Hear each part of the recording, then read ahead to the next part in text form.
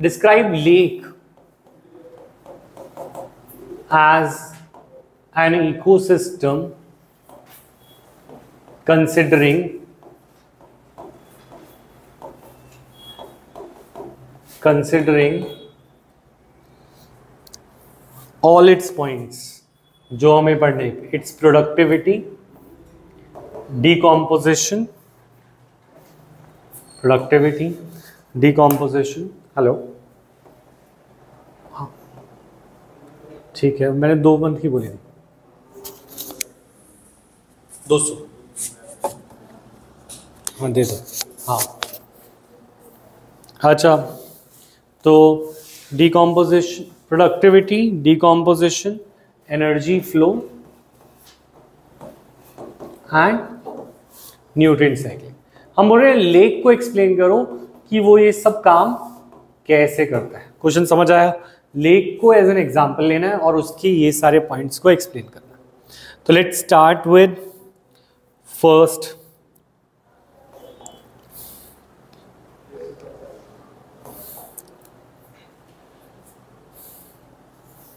first is we will say abiotic components और biotic components को describe करते हैं। तो what are the abiotic components lake में होने वाले वो क्या बोलोगे जिसकी वजह से ये लेक चल रहा है? Non living components of lake water और बस वाटर या और भी कुछ? डिजोल्व न्यूट्रिएंट्स दूसरी चीज़ क्या हो गया? Dissolve nutrients dissolve inorganic and organic substances. And organic substances. Abiotic components हमारे क्या क्या है?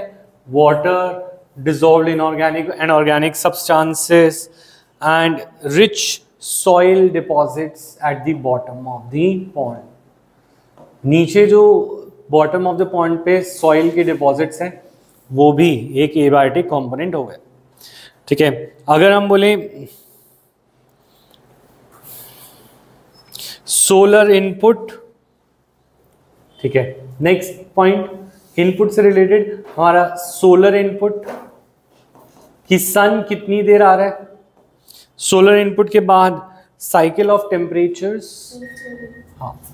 cycle of temperatures day length and other climatic condition day कितना बड़ा है? Day length and other climatic conditions ठंडा क्लाइमेट रहता है उस जगह पे या फिर गर्म। ये भी सारे क्या है? एबायोटिक कंपोनेंट्स हैं। और क्या चीज़ें हम बोल सकते हैं? ये सब के सब फैक्टर्स जो हैं हमारे इनको हम फैक्टर्स बोल सकते हैं। ठीक है, और फैक्टर्स ये हैं that regulate factors that regulate function of entire pond पूरे पॉइंट के जो फ़ंक्शंस हैं, उनको क्या करता है? रेगुलेट करता है। ये वाला सारा फैक्टर्स कि पॉन्ड कैसे काम कर रहा है। ठीक है? अब बायोटिक कंपोनेंट्स पे आते हैं।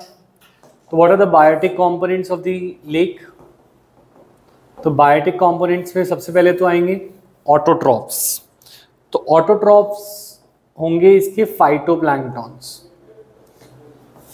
फाइटोप्लैंक्टॉन्स क्या होते हैं? जो पानी के ऊपर छोटे छोटे युगलेना जैसे ऑर्गेनिजम्स होते हैं, जो कि सनलाइट को ट्रैप करके क्लोरोफिल होता है उनकी बॉडी में और वो फोटोसिंथेसिस करते हैं। जिसको खाते छोटी फ़िश छोटी फ़िश को खाती है बड़ी फ़िश तो ऐसे पॉन्ड काम करता है। तो सबसे पहले प्रोड्यूसर कौन है? प्रोड्यूसर हमारे हैं फाइटोप्लैंक्टॉन्स कौन है?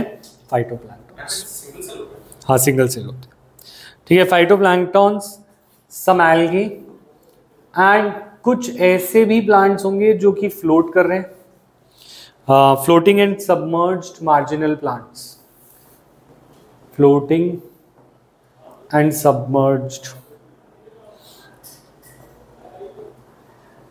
plants और some marginal plants marginal plants कौन से हैं जो हमारी पॉन्ड के कॉर्नर्स पे मिल रहे हैं?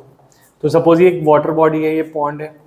तो पॉन्ड्स में सबसे पहले अगर हम बात करें, ऊपर ऊपर पाए जाने वाले कौन कौन से ऑर्गेनिजम्स हैं? सिंगल सेल फाइटोप्लैंक हम कह रहे हैं कुछ प्लांट सबमर्ज हैं और कुछ मार्जिन पे हैं। कुछ क्या है? और कुछ क्या कर रहे हैं? फ्लोट कर रहे हैं। तो ये फाइटोप्लैंक्टॉन्स तो ये हो गए जो सिंगल सेल्ड हैं। उसके अलावा ये सारे प्लांट्स और एल्गे मिलाकर marginal plants submerge plants floating plants and algae ये सब हमारे बायोटिक कंपोनेंट हो गए जो कि खाना बनाने के केपेबल हैं। दे आर ऑल ऑटोट्रॉफ्स क्या है? ऑटोट्रॉफ्स और अगर हम बात करें इनमें से कंज्यूमर्स कौन कौन से हैं बायोटिक कंपोनेंट में जो कि लेक में पाए जा रहे हैं? Will you tell there will be fishes yes और नो और zooplanktons and bacteria fungi flagellates ये सब होंगे। तो you will say first zooplanktons देखो सिंगल सेल्ड ऑर्गेनिजम्स जो अपना खाना बना सकते हैं और पानी के ऊपर फ्लोट कर रहे हैं दे आर फाइटोप्लैंक्टॉन्स फाइटोप्लैंक्टॉन्स होते हैं। सिंगल सेल्ड ऑर्गेनिज्म जो पानी के ऊपर फ्लोट करते हैं और अपना खाना बनाते हैं। जू प्लैंक्टॉन भी उनके साथ सिमिलर होते हैं पर ये अपना खाना खुद नहीं बना सकते। तो ये कंज्यूमर हो गए ये फाइटोप्लैंक्टॉन को खाएँगे। तो जू प्लैंक्टॉन्स हो गए। जू प्लैंक्टॉन्स के अलावा bacteria fungus and flagellates bacteria fungus flagellates these are all um, अच्छा एक सेकेंड बैक्टीरिया फंजाई इस पे रुको. जू प्लैंक्टॉन लिख दिया तुमने? ये लिखो बस. जो उनको लिखना था, वो डीकम्पोजर्स में लिखने थे. डीकम्पोजर्स बना लो, नहीं तो उन्हें मार्क करके दो, जैसे भी करके. तो जू प्लैंक्टॉन्स के अलावा some small fishes that might be found in the pond hello ठीक है।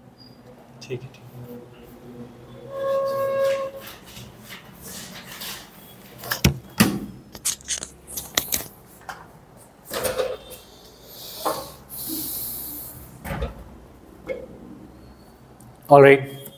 So um, decomposers में you write bacteria, fungi, and flagellates.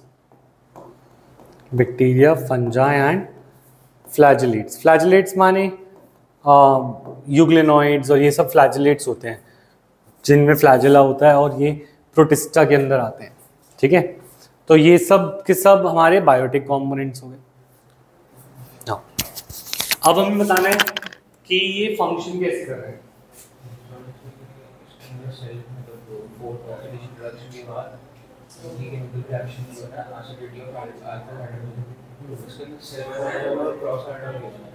ये तो समझ आ गया कि कैसे करते हैं मतलब वो ओ निकालना और एच टू निकालना है उस सेट में एच टू निकलता है प्रोपेन में जैसे ये ओ एच मतलब एच ओ से चला जाता है डबल बॉन्ड टूट जाता है और सी में जुड़ जाता है पूरा ये में आ रही एक्टिविटी ऑफ़ अल्फ़ा हाइड्रोजन ये ये सी इलेक्ट्रॉन नेगेटिव है इसके ऊपर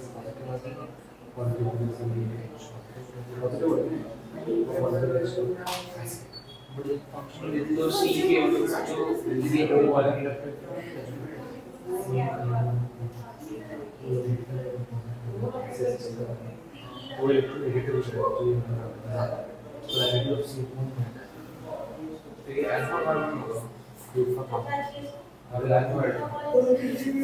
वो नेगेटिव तो लिखे। तो अगर हम बोले, ये सारे फ़ंक्शन जो ये इकोसिस्टम करता है, वो कैसे करता है? फ़र्स्ट कन्वर्जन ऑफ़ अच्छा लिखेंगे the processes that occur in this ecosystem are first conversion of sunlight into conversion of sorry conversion of inorganic substances into organic material with the help of radiant energy of sun inorganic into organic material with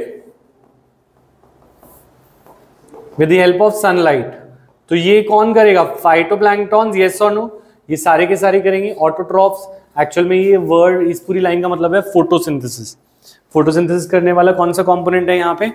autotrophs ठीक है secondly consumption of autotrophs by heterotrophs जो जू planktons होंगे या fishes होंगी, वो क्या खाएँगे?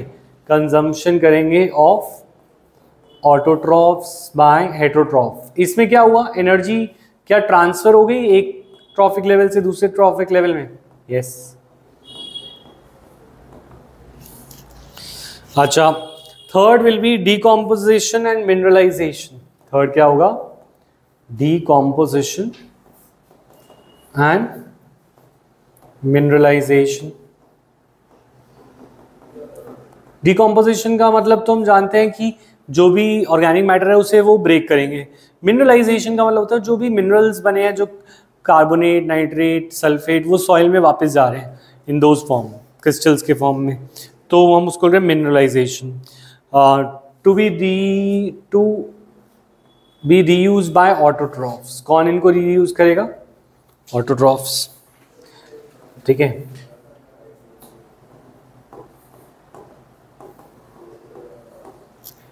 अच्छा इसके अंदर there will be unidirectional flow of energy energy हमेशा लोअर ट्रॉफिक लेवल से हायर में ही जाएगी. Unidirectional flow of energy कभी भी ऐसा नहीं हो सकता कि हेटोट्रॉफ अपनी एनर्जी ऑटोट्रॉफ को दे रहा और ऑल्सो डिसिसिपेशन एनर्जी का डिसिसिपेशन यानी loss dissipation and loss as heat to environment ठीक है, हम क्या कहना चाह रहे हैं? जब भी कोई ऑर्गेनिज्म अपने लिए खाना बना रहा है या ढूंढ रहा है तो सबसे पहला उसकी प्रायोरिटी क्या है? उसको रेस्पिरेशन में यूज़ करके एटीपी बनाना। क्या बनाना? एटीपी तो एटीपी बनाने वाले प्रोसेस में जो एनर्जी है, वो लूज हो जाती है। दिस विल बी आउटपुट तो लेक या पॉन्ड कैसे एक्ट करता है एज एन इकोसिस्टम ये वाली बात समझ में आई? Next topic